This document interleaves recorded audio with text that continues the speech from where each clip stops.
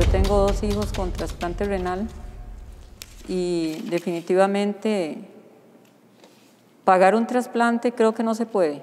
Nosotros, o sea, no, no estaba en, o sea, no está en el presupuesto de nosotros poder pagar un trasplante renal porque de eso es algo demasiado caro, ¿verdad? Este, y no solo eso, o sea, la atención antes del trasplante, cuando estuvieron, ellos tuvieron que entrar a, a hemodiálisis, tenían que venir tres veces a la semana.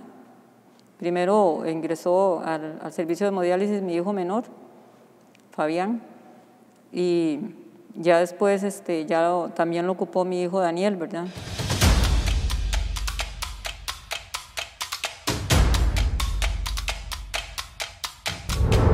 Le debo la salud de mis hijos,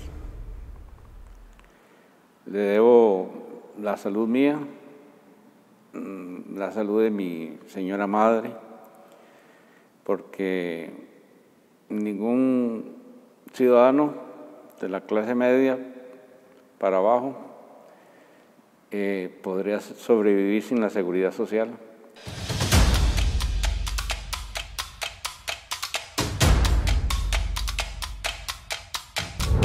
Creo que sin la caja no estuviéramos aquí. Eh, como decían mis padres, una operación de trasplante no se paga, es así de fácil, no se reúne la plata ni siquiera en un año. Eh, creo que sin la caja, actualmente yo no hubiera podido gozar de, de la salud que gozo hoy en día después de haber adquirido ese trasplante de órgano.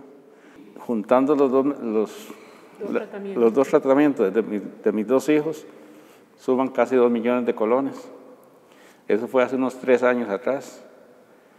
Entonces, actualmente ni, ni yo ni ninguno de ellos dos, que son trabajadores, podrían costearse el tratamiento.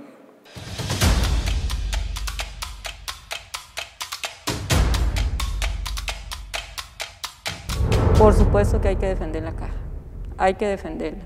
No podríamos, hasta una acetaminofén que usted tenga que irse a comprar, y si no tiene el dinero no la puede comprar. Un jarabe para la tos, un medicamento para el dolor de cabeza, una infección, o sea, si no tenemos la caja, todo eso habría que comprarlo. Y hay personas que definitivamente no tendrían ni siquiera cómo comprar un jarabe para una tos o para darle a un chiquito que tiene un dolor. Entonces yo digo que la caja no tiene precio, o sea, hay que defender la caja. Mi- Mil por ciento. Hay que defenderla a muerte, a defenderla porque traemos gente atrás de nosotros, hijos, nietos, generaciones que aún no han nacido y sin seguridad social, no sé qué va a pasar.